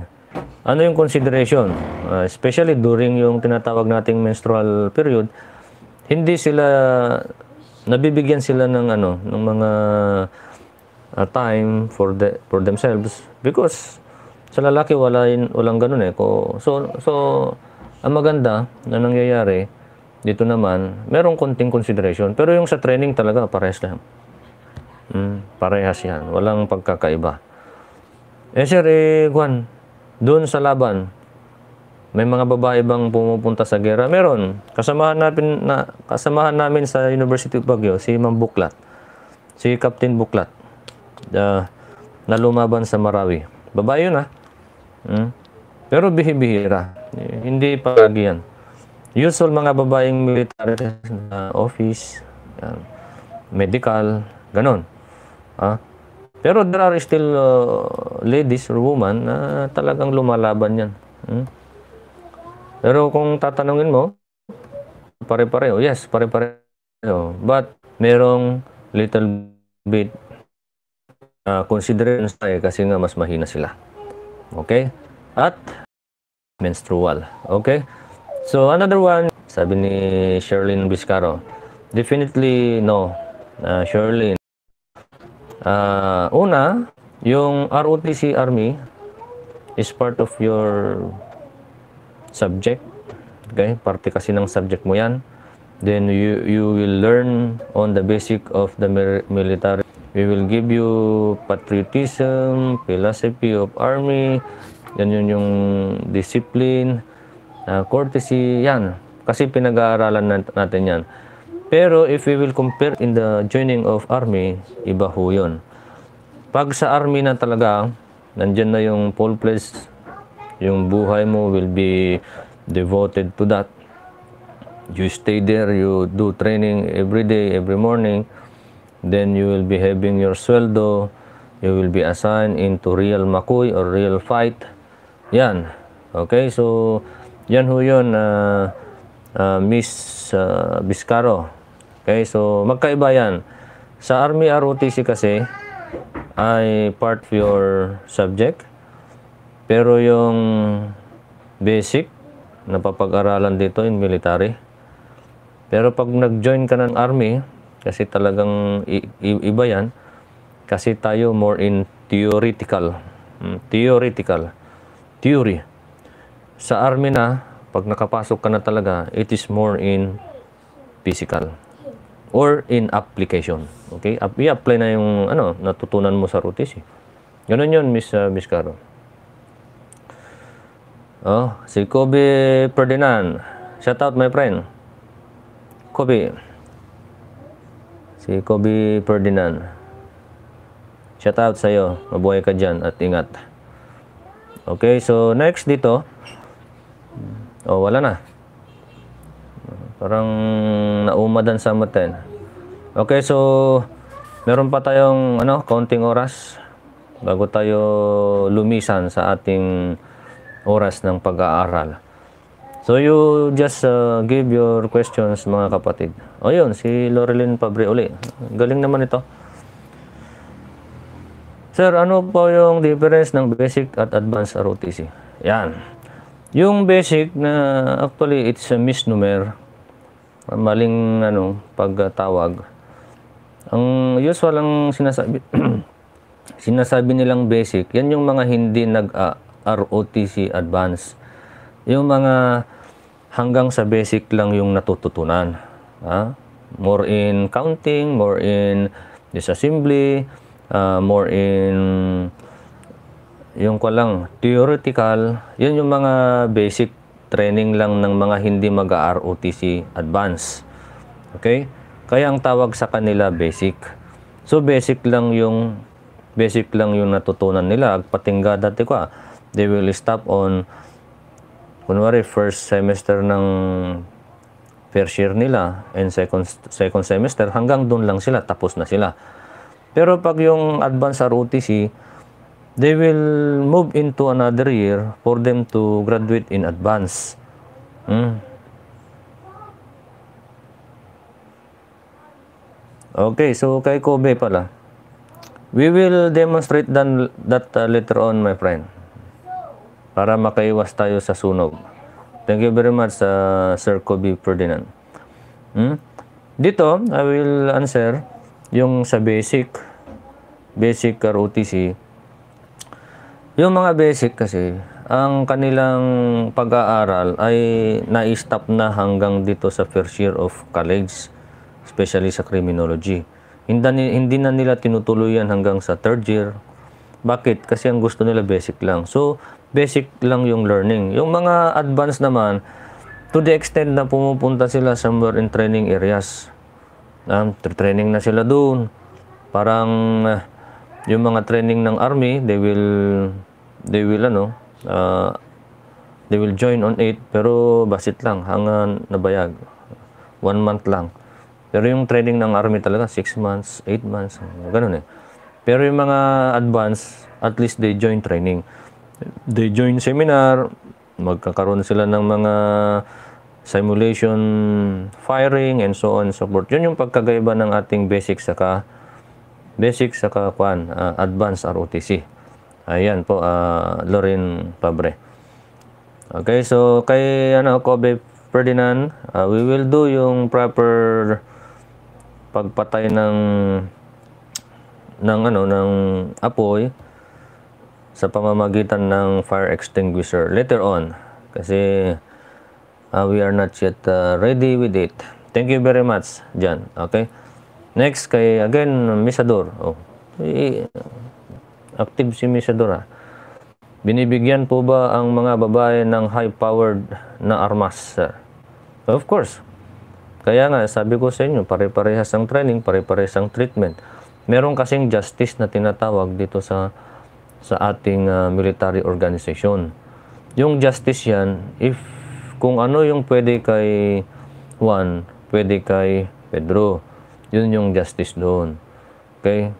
Kung pwede sa babae, pwede rin sa lalaki. Kung pwede sa lalaki, pwede sa babae. So, mayroon ding mga barilyan na malalakas. Hindi lang sa panglalaki. Okay? Pero kung tatanungin mo, sir, kung sa laban, yung mga armas ba, kunwari, yung mga mabibigat, yan, ng uh, machine gun, pwede bang hawakan niyang ng, ng babae? Most probably, pwede. Pero ito, uh, binibigay yan talaga sa, sa malalaki kasi yung endurance ng babae ay mas madaling ma-stop compared with the endurance of yung lalaki. Okay, so definitely binibigay yan sa lalaki kasi yun mo naman, machine gun, ang bigat-bigat yan. Tapos may bala pa yan. So, binibigay yan sa sa lalaki. Pero may maraming baril na tinatawag nating high-powered na talagang pinapahawak din at uh, naka-MR sa mga babae. Okay, naka-MR yan. Hmm? So, ayan. Another one is, uh, just to inform others, sir, ano-ano po yung mga advantages kapag nag-enroll ka sa ROTC? Yan. Uh, so, si Kwan, si Benson. Benson Noguera. Maraming advantages yan, my friend. Una, maka you will learn the military tradition, discipline, um, courtesy, you learn nationalism, love of country, you learn how to respect uh, people and so on.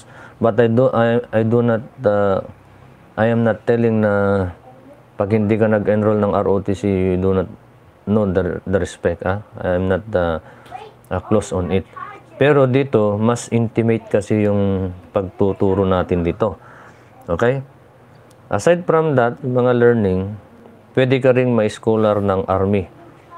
Hmm? Kasi you can take the examination for APSAT, pumasa ka, at pwede kang maging scholar. And then, pag graduate mo kasi dito sa ROTC, uh, meron kang automatic na serial number, then you will be you will be part of the reservists. Sundalo ka na, pero reservist. Hmm? Pero you can use it to activate later on. Pwede kang ma-active later on. And una, I know, another advantage of this kung kung gusto mo nang mag-training sa army, at least meron ka, meron ka ng basic, ha? basic training. Another one, kung gusto mo ring mag-security guard, o meron ka ng training. At the same time, you are exempted with the training of security guard. Kasi nag-training ka ng ROTC. Okay? Yun yung mga some uh, advantages na ma, ma, pwede ko lang ibigay ngayon. Pero marami pa. Hmm? That's according to, ano, Ah, that's uh, that's uh, the question of uh, Benson Noguera. Marami. Hindi lang 'yun. Dito nga sa ROTC, pwede ka nang pwede ka nang mag-start ng karir mo eh. Bakit? Oh. Nag-ROTC ka after few years eh sundalo ka na, di ba? Yan na yung track. Track for you to go to the military organization. Diba? Napakaganda. Okay, so Jeric Ventura, Sir, what are the benefits that we can uh, get uh, from ROTC? Yan, nasagot ko na kay Ventura. Ay, kay uh, Noguera kanina. Napakarami. Hmm? Kung gusto mong maging gwardiya, hindi ka na mag-training. Bigyan ka na ng lisensya. Uh, track mo na rin to. Yan yung guideline mo na na maging army later on. At kung nag-graduate ka ng ROTC, reservist ka na kagad. Hmm? aside from the learnings, uh, trainings na ibibigay sa inyo. Ayan. So, yan yung mga benefit. At kung ROTC officer ka, pwede ka pang magsuot ng uniform eh. Diba? Bawal yung nagsusuot ng uniform. Kasi may batas tayo dyan. At insignia. Ngayon, mga estudyante, pwede magsuot dahil ROTC kayo. okay, so again, kay Laurelyn Fabre, ah, Sir, kung nag-PNP ka, ikaw ba magde-decide kung saan ka e-destino? Ayun. Mm, X Gerhart, good morning, sir. Good morning.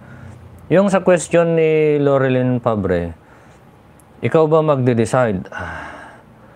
Well, my friend, sa organization kasi ng Philippine National Police and many other, you don't have the authority to decide. Even you are the general. Even you are general. Hmm? You don't have you don't have uh, the authority to decide. It is the function of the administrative to decide where you go. Especially if your if your services is very badly needed to that area. Hmm? Like for example, okay, ikaw, uh, police officer ka, magaling ka sa traffic, doon ka sa traffic. Ikaw, police officer na walang kinakatakutan, kinakatakutan, doon ka sa lugar na maraming kalaban. Kasi kailangan ka doon. Ikaw na police officer, magaling ka sa city, doon ka.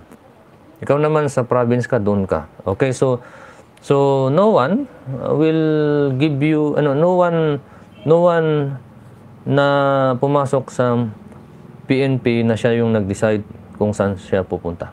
It is the function of the administration to give, especially yung mga higher officer. Kunwari sa Region 2, then may general doon isa eh. Siya yung magde-decide kung saan mapupunta yung mga bata sa Region 2. Yung general naman, merong nag-decide na siya ay napunta sa Region 2. Pero, may pero yan. You can lobby. Pwede kang mag-request Sir, may I request na pupunta po ako dito kasi dito po ang lugar ko. Pwede ba akong mag-work sa aking sariling bayan? Ngayon. Pero request lang yun, but not deciding. Uh, who will decide? Still yung tinatawag nating officer. Yun yun, uh, uh, Miss uh, Pabre. Mm, hindi po ikaw yung nagde-decide. It is really the decision of your boss or yung higher officer. But once again, you can you can lobby. Mm. Okay, so oh, may question uli si ninyo. Si, sir, pwede po po, po ba tang, tanggihan yung saan ka madidestino? Kung ayaw mo doon sa lugar na yon, sir. Hindi pwede. Hindi ka pwedeng tumanggi but you can ask for consideration. Especially, uh, maglabi ka lang, sir, pwede ho ba ako na hindi ma-assign doon? But, kung hindi ibinigay sa iyo yung yung ano, labi mo, yung tinatawag nating pakiusap mo, you need to accept. You need to accept. Hmm. Eh kung napunta ka sa Mindanao, so Mindanao. Which is which? Kuan lang yan eh. Pupunta ka or magre-resign ka. Hmm, bakit? Kaya nga, yung mga pumapasok ng PNP at mga yan sa military, dapat matibay-tibay ang loob. Kung hindi, ay nako, patay. Pag uh, sa Mindanao ka at hindi ka pumunta, mag-resign ka na lang o mag-awol ka. Ano ibig sabihin ng awol? Absence without official leave. Awol. Okay? Yan yun, uh, Mr. Ninyo. Hindi ka pwedeng hindi ka pwedeng ano mag uh, tanggi or tumanggi. Hmm. Wala yan. Kay Benson naman, sir, may mga scholarship po ba ang po ba na nakukuha o makukuha sa ROTC? Definitely meron, Benson. Especially if you are an officer or a ROTC officer. Meron. Merong tinitake na examination yan. Then you pass. May classification. May class A, class B, class C. Uh, ang naalala ko, ang pinakamataas ay uh, 15,000. At hindi lang yun once. Every semester yun. Hmm. Every semester kaya maganda. Ako, no, ako noon, kasi ROTC office ako, uh, for commander ako, ang tuition ko kasi napakamahal noon eh, nung nasa University of Baguio kami, way back 1999. So, ang tuition namin doon, 18,000. 1999 yun ah. Pero, ang aking scholarship ang nagbabayad na. Hmm? Eh, scholar ako, full. Full scholar. Tapos iba pa yung galing sa army. Sa school kasi, full scholar ka. Tapos sa army, nagbigyan ka pa. Maganda doon, meron ka pang ano, meron ka bang uniform. Free lahat yan sa hanggang sa sapatos, medyas, short, sa patig uh, or camouflage. Yun yun yung nakukuha doon, uh, Mr. Benson. Okay. Kay Ninyo Santiago. Sige po sir, thank you po. Uh, thank you din ninyo. Kay Irene Infiel, good morning. Nalit ka, Irene. Okay, kay uh, April Day na or April Day na alegado. Sir, paano naman kung yung kasamahan mong pulis eh nabaril ka nang hindi sinadya? Sir, ano po yung possible na maihahatol po? Okay. Kung binaril ka or nabaril ka na hindi sinasadya, kunwari namatay ka. Okay? That is already homicide. Hmm? Hindi pwedeng pawalang sa ipawalang sala yung kasi pagpatay pa rin yun. Ang pagpatay kasi merong dalawang klase. Muna, muna. Yung homicide saka yung murder.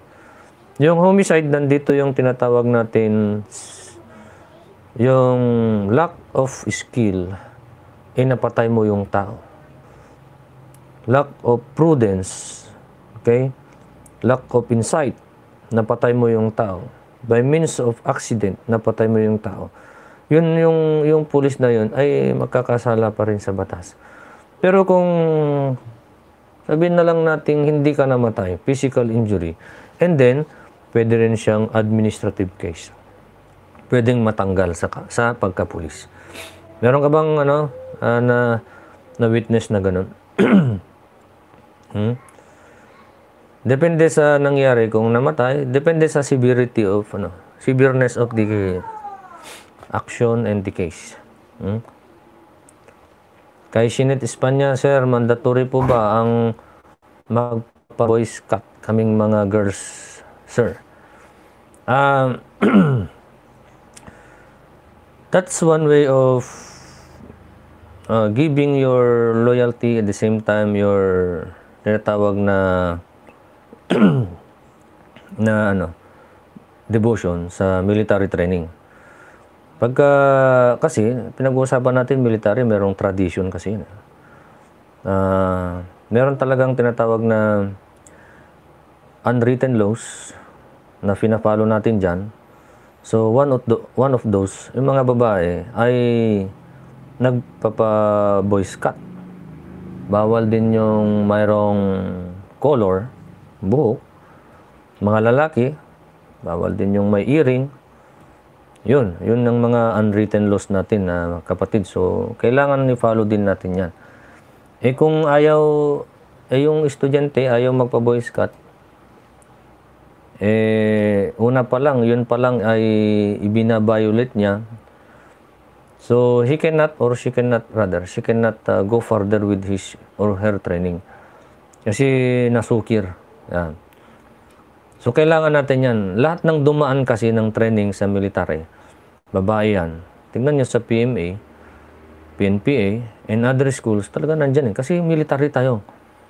Mm, military tayo. Saka when you move into training, especially you do crawling, jumping and other, so yung buhok mo kasi nakaka-isturbo. Mm, nakaka-isturbo na yan or pabalin na uh, that could be possible the reason of your accident. Ha? Yun yung mga reason naman bakit nagpapa-boy scout yung mga babae. Anyway, tutubo naman yan. Hmm? Ayan, si uh, Shinet Espanya. Uh, si Jeric Ventura naman, Sir, makakuha, makakakuha ba pa rin po ng scholarship sa ROTC kahit hindi ka officer? Uh, meron, pero bibihira. May mga scholarship din para sa non-ROTC officer. Basta pumasa ka sa exam. But mo, yung mga hindi officer kasi, nabibigyan lang sila ng mga few, ano, few chances to take the exam.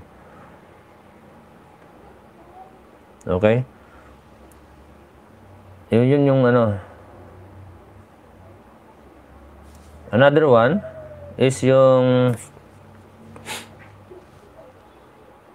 yung exam ano yung kon kasi yung examination ng pang scholarship ay karamitan at ano kalimitan na bibigay sa mga officers. Mga kwan na kasi yun eh, mga privilege na rin sila being the officer.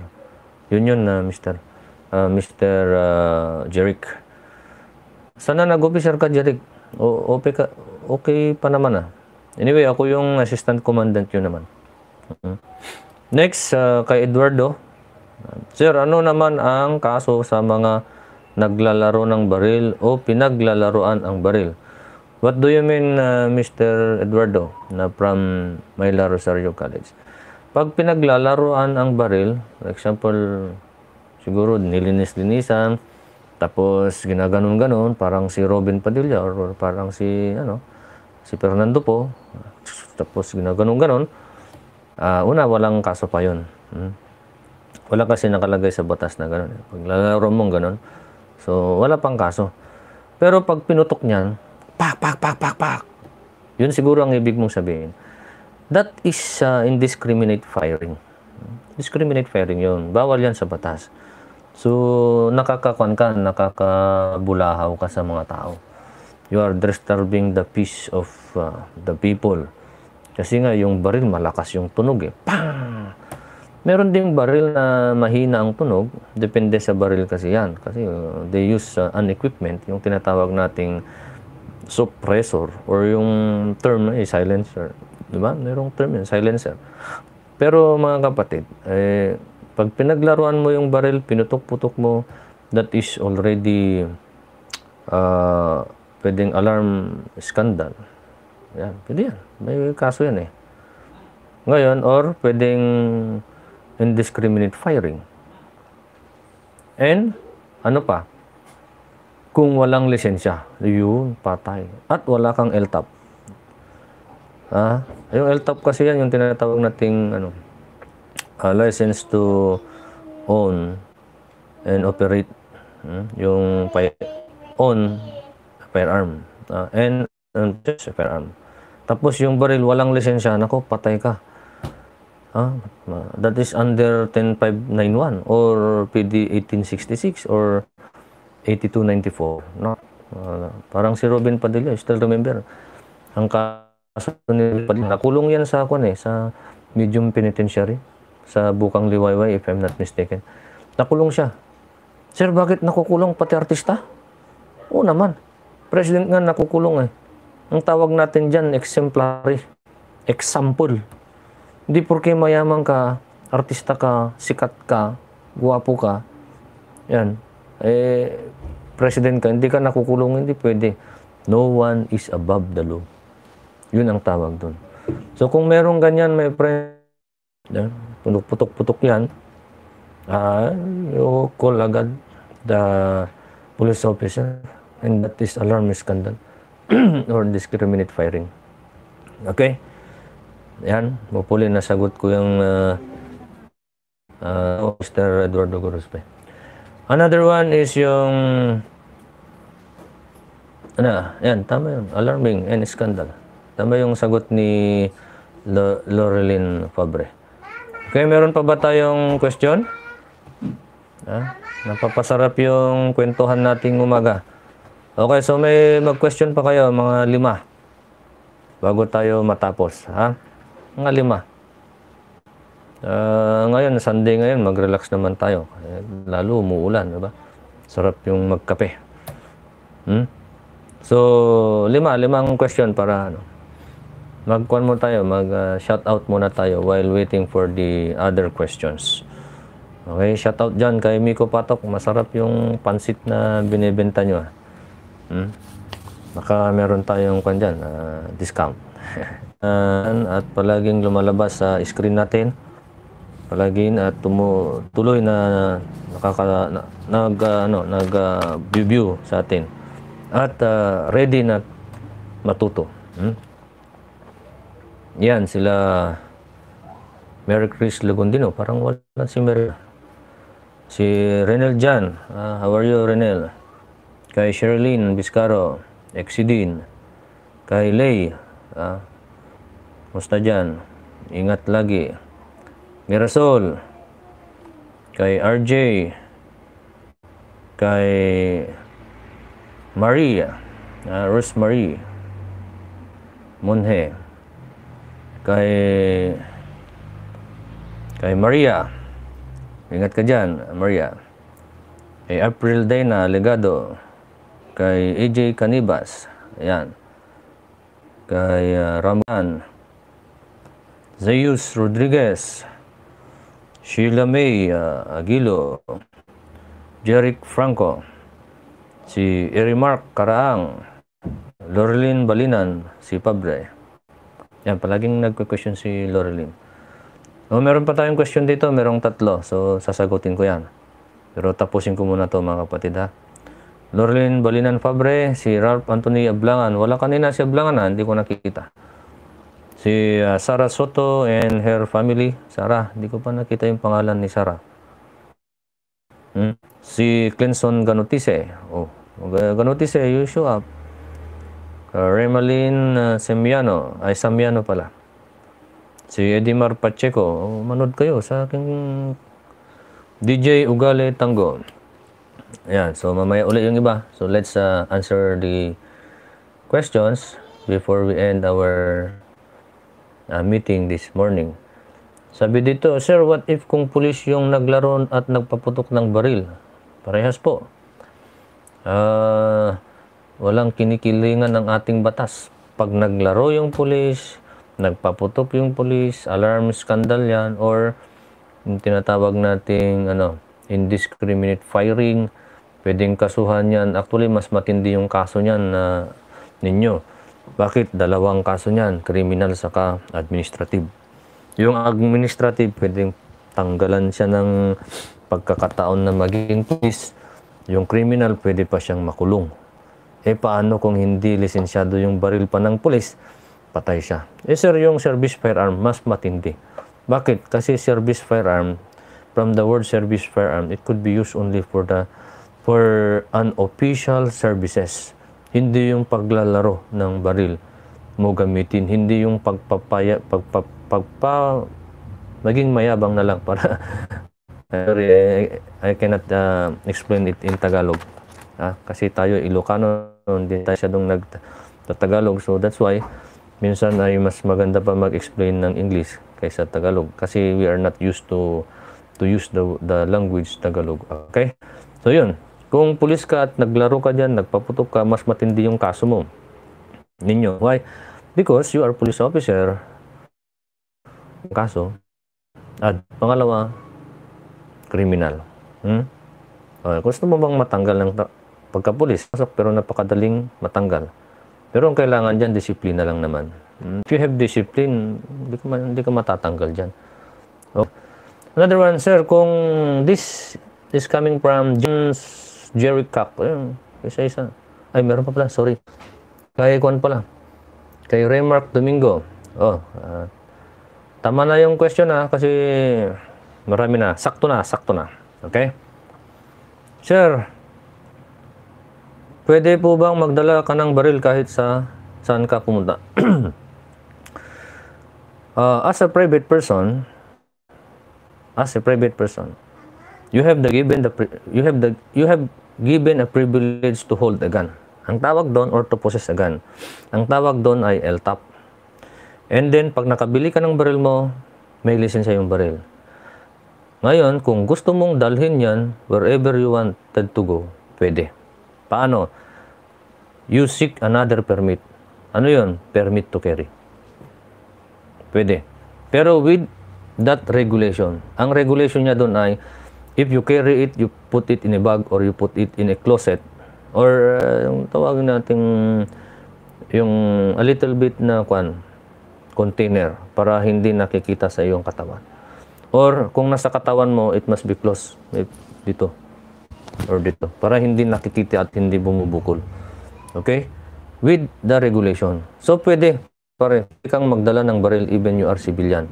Much more if you are a police officer. Pwede kang magdala. Okay? Pero kung wala kang permit to carry, hindi mo pwedeng dalhin. At doon sa permit to carry, meron siyang prescribed places na pagdalhan mo ng baril. Eh sir, may, may kakilala ako, dinadala niya yung baril niya. Eh. Walang, ano, walang permit to carry, nakalagay lang sa bag niya. Pwede bang huliin yun ng pulis, kapkapan yun? Kung meron tayong tinatawag na search warrant, pwede nilang kapkapan. Pero kung nasa bag talaga yung baril, maski alam ng pulis na baril yon at hindi niya nakikitang baril yon at wala siyang search warrant, he cannot uh, arrest a person or he cannot do the so-called seizure of the gun. Bakit? Violation ng batas that there should no be search without search warrant. That there should no be arrest without arrest warrant or arrest. Hmm? Okay, so yon. Another one, so hopefully nasagot kita Mr. Remark Domingo. Kay Ryan Jacinto naman, Sir, paano kung yung isang pulis ay lasing na pumasok sa station nila?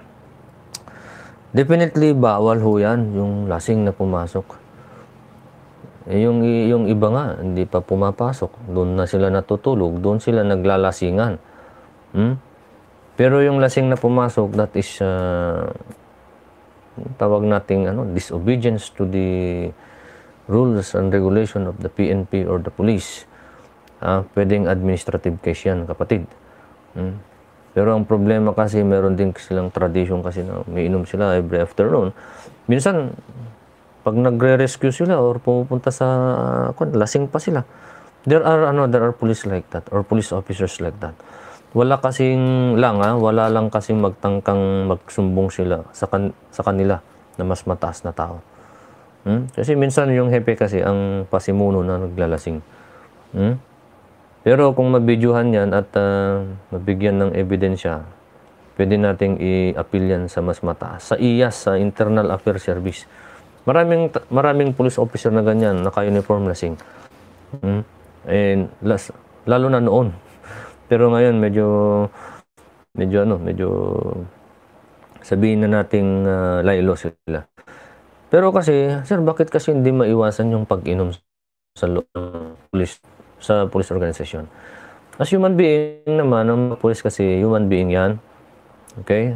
Kaya, uh, nakakaroon yung tinatawag nating pleasure. Ah, as a human being, ah, ang gusto natin pleasure eh. Eh, minsan, na uhaw din siya. Pero okay na siguro yung minsan-minsan. Hindi naman siguro dapat palagi. At kung lasing man yan, hindi na create ng problem, yun dapat. Eh, yung iba kasi, ibang pulis eh, porke pulis, yun na sila yung pinakamayabang dyan sa kanilang, kanilang lugar. Ang pangit pa dun, yung tatay ng pulis, mas mayabang pa sa pulis dahil pulis yung anak. May kakilala ako dyan. Ha? Napakayabang na dahil pulis na yung anak. Eh, hindi naman natra-transfer yung pagka-pulis eh. Di mo bang sabihin pag pulis yung anak mo, ikaw pulis ka na din. Hindi pwede yun. Ha? Huwag ka masyadong mayabang ikaw na ama ng ano ng pulis diyan. Hmm. Kung nanonood ka, ikaw yun. Pero hindi lahat po. Marami ding mga ama ng pulis na mababait at uh, really really uh, following the laws. Pero yung mga pulis na naglalasing na pumasok, bawal ho yan.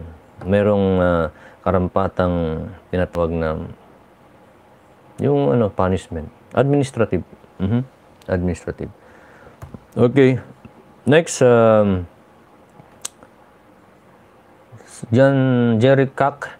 Sir kung hindi naman lisensyado yung baril mo tapos ito'y nagamit sa mga masasamang loob tulad ng magnakaw mayroon ka bang kaso doon? Okay sir yung sinasabi ni Jeric, meron kang baril pero kulurum, wala siyang license. Wala, wala siyang license. Kunwari pumasok sa bahay nyo at napatay mo yung tao. Well, Jeric, huwag mo na lang aminin na baril mo yon. Sabi mo na agaw mo sa kanya. Para yung baril ay hindi sa'yo, sa kanya. Kasi pag inamin mo na sa'yo yung baril, nako, kasalanan pa din yan. Kasi isang kaso doon, possession. Ha? Possession. If you possess and gun, Tisibay War, M10591. Yan. Possession kasi yon. Pero Jerry, ang mangyari, napatay mo rin lang yung ano, yung pumasok. Eh, sabihin mo, naagaw mo yung baril sa kanya, na baril mo siya. Wala ka, kang, wala ka ng kaso, pati yung pagpatay, wala kang kaso. Bakit, sir? Self-defense. The same time, pumasok siya sa iyong lugar. Hmm? Wala, wala siyang wala siyang karapatan na pumasok maski patayin mo siya dun eh. Hmm? So kayo, kayong mga ano lalaki, huwag kayo manligaw at ayaw kayo ng tatay ng babae, huwag niyong gawin yung panliligaw sa bahay nila. Baka mamaya mapatay kayo dun. Wala na. Lalo kung wala kayong record, wala kayong video. So, mangyari, ang gawin yung panliligaw sa text muna. Online. Online muna kayo. Uh, or sa ibang lugar kasi pumasok ka sa bahay nila at uh, ayaw ka ng tatay, bigla kang tinaga. Tapos sabihin sa'yo, trespassing. O, patay ka. Hmm? So, iwas-iwas lang mga kapatid. Next, uh, again, kay Laurelyn Super Arm, with slight physical injury po ba ang pwedeng ikaso sa taong di sinasadya ang pagkalabit ng letter? Sir, na naka-disable na sa tao illegal discharge of firearm with uh, slight physical injury. Pag na-disable yung tao, Lorelyn, ay kwan yun. Uh, hindi lang hindi lang slight physical injury, disable nga yan. Pwedeng yan. Mm, grave physical injury yun. Saka yung, pwede rin yung illegal discharge talaga yun. Pero pag yung slight lang, kasi sabi mo, na-disable yung tao eh. Grave na yun. Mm, eh kung naputol yung paa niya, baka mutilation pa yun eh. Okay? So, matindi rin yung kaso na yan, uh, my friend. Illegal discharge of firearm.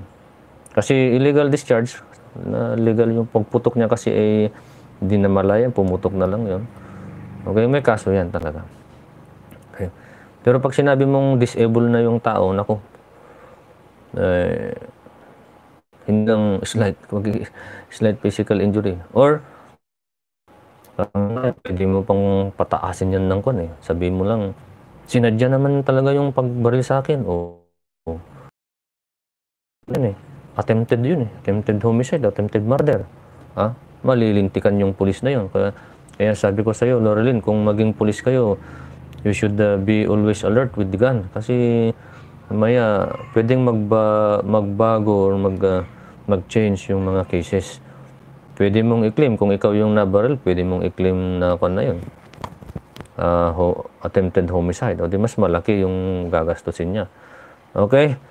So, shout out kay uh, Romel Misador. Maraming questions si Misador eh. Ano po ba ang pinakamatinding kaso sa lahat ng batas, sir? Sa lahat ng batas? Hmm. Siguro ang uh, sinasabi ni Romel dito ang ang pinakamatinding kaso against the law. Yan. Against the law or against ano? Illegal possession of firearms sa sa Nukan Idol. An, an, an. May marami pang matinding kaso. Ano? Uh, ang pinakamatinding kaso, ayun yung mga event na tinatawag nating ano, high ayun, mga ang kanyang penalty ay death. Matinding kaso mga yan.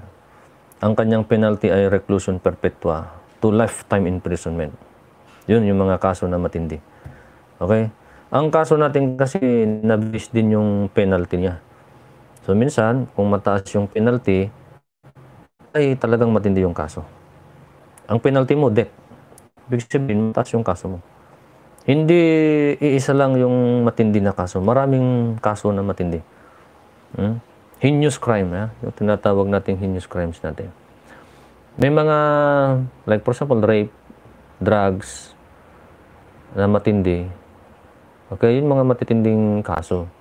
Kasi different naman yung kaso natin. Pwedeng kaso na nagawa ng civilian, kaso na nagawa ng military, kaso na ng, nagawa ng mga kapulisan, iba-iba. Kaso na nagawa ng itong mga opisyal natin sa gobyerno, kagaya ng plunder, matindi rin yan. So, napakaraming matinding kaso. Pero ang batayan na lang natin dyan, kung ang penalty niya ay umabot siya ng death or lifetime imprisonment, lifetime imprisonment, ay talagang kwan yun. Ah, ah, talagang matindi yun. Okay? So, hopefully, I answered your question, Misador or Romel Misador. Shout out sa'yo, Misador. Mag-ingat ka dyan, ha? Pati ang iyong pamilya. Hmm? So, ituloy natin yung pagbasa sa mga pangalan nyo dito. Hmm? Sino pa yung may question? Last na. Last na talaga, promise. Gutom na ako eh. Just wait for further uh, notice para kung maganda ang panahon, mag-lecture ulit tayo. Kung merong kuryente, mag-lecture. No? should not waste our time. Lalo na kayo mga nag-aaral pa. Eh kami, tapos na kami sa pag-aaral. Kaya nga nagtuturo na kami. Di ba? Okay, so we have here Ronvel de los uh, Santos. Christian Agriam. Hindi ko nabasa yung pangalan ni Christian. Ah. Mian Silvestre, Robert Aguilar, si Patrick Ralieta. Sir, thank you sa lecture ngayong araw uh, na to. Salamat po. Uh, salamat din uh, ninyo. Uh, ninyo Santiago. Elisa Agpuldo. Kimi J. Donato. We have also VJ Domingo. Sabi ni BJ, I am looking for bebe. Uh, tawagan nyo si BJ Domingo. Masarap daw yung pasyon. Kay shoutout kay uh, Lester Jose. Mabuhay ka. Pero mag-question ka naman, Lester, kahit isa lang. Okay? Kay John Patrick Damo. Hmm. Kay uh, Olive Jane De La Cruz. Oh, shout out kay AJ Canibas. AJ, mag-question ka naman AJ kahit isa lang para matapos na tayo. Carl Ivan. Actually, mga kapatid, well, ito experience ko lang, kwento ko lang sa inyo. Sa aking klase, sa face-to-face, um, pagkatapos ng klase ko, hindi sila nag question. I don't know the reason kung naintindihan nila or hindi nila naintindihan yung klase. Bibira silang nag-question eh. Pero ngayon, maganda nga itong, ano, itong discussion natin because you are giving questions. This will uh, make you clear in uh, mga bagay-bagay naman. Okay? So, Jake Jacinto. Hmm. Sir, pa-shoutout po. Okay, Jeric Ventura. Idol, uh, by next uh, meeting, tira pa rin yung mga questions. Maganda yan. Kay um, Patrick Giang. Hmm. Kay Laika Maureen Garrido. Patrick Ralieta. Si Eduardo Gorospe, of course, very active na estudyante natin yan sa Mayla. Pareha sila ni yung isa kanina, Ventura. Ah, yan. Si Jeric Ventura. Si Ryan Jacinto. Ayun, may question dito. Uh, tingin mamaya, eh, answer ang question mamaya, uh, EJ, para matapos na rin tayo. Kay Marjo Yorenya, kay Clifford Liamelo, of course, kay Laurelyn Fabre, na very active. Ria Bumagat, uh, Ulysses, Elbinya, okay, si George Dumayas. Okay, so now, Tingnan natin na ngayon yung question ni AJ kasi parang napilitan si AJ para matapos na. Hindi, uh, thank you sa question mo AJ. Sabi niya, ano po lo ang nalabag sir pag pinagbintangan ka ng di mo kasalanan, kasalanan? Tama naman yung tawag na bintang kasi hindi mo naman kasalanan, di ba? So, yung tama yung bintang. Okay, my friend, pwede yan yung sa libel, lalo na kung libelous talaga yun. Uh, pinagbibintangan ka, na ginawa mo yung isang bagay ay at hindi naman pala hindi naman ikaw yung gumawa. Uh, libelous or kung talagang sinira ka pa diyan by ano oral defamation. Okay? Pwede 'yon. Pwede 'yon ah, kapatid, yung batas na 'yon. Kasi tayo may mga right din tayo na hindi lang basta-basta tilukano ibabain. Sino pina, pinabasol da ka, babain da ka eh. Ah, pwedeng oral defamation yun, mabalin nga libel. Ah, so, yun ang mga pwede nating gamitin kaso. Okay? Pero una, hindi kayo palang barangay, tapno i-settle yun. Meron, na pan, meron naman tayong barangay justice. Okay? Another one, eh, sabi dito, ano pulo nalabag? Ah, yun. Yun na yung last na kon natin na um, question. Kay AJ Canibas Thank you very much. Kay Romel Misador, uh, shout out sa iyo dyan with your uh, family. Kay Shinet Espanya, yung kapatid mo, my friend, uh, shout out, sabi mo. Pakikumusta na lang. You're such a good lecturer, sir. Thank you for the for today, sir. Okay, thank you din, uh, April Dana. Okay? So, hopefully, you have learned a little in my discussion today. Uh, you please, again, wait for further instruction parang we meet again. AJ Canibas, thank you. Yan na lang muna po mga ka, mga ano, ka-lecture. Thank you sa lecture, sir. Ayan, kay Gia Duyor. Thank you din sa inyong lahat, sa oras niyo at uh, sa lahat. Okay, pa-shout out po kay Dina, April Dina, Alegado, good uh, morning. So yan lang muna. This is your Sir June. Thank you and good day. Thank you din, Sherilyn Biscaro.